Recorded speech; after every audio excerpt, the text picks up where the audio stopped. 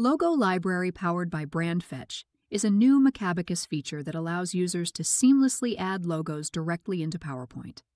With a clean, intuitive interface, accessible from the Macabacus ribbon, you can search for logos by name, insert multiple logos at once, and sort them alphabetically. You can also toggle between light and dark monochrome backgrounds as needed, so every logo stands out, no matter the slide design. But it doesn't stop there. We've also upgraded the Arrange Shapes tool to work with Logo Library, making it easier to refine logo layouts with precision.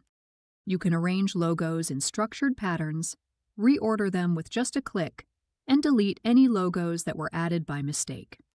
Logo Library offers a faster, cleaner, and more consistent way to source, insert, and manage logos across all your slides. Visit Macabacus.com to learn more about why Macabacus is the leading productivity and brand compliance add in for finance professionals and their firms.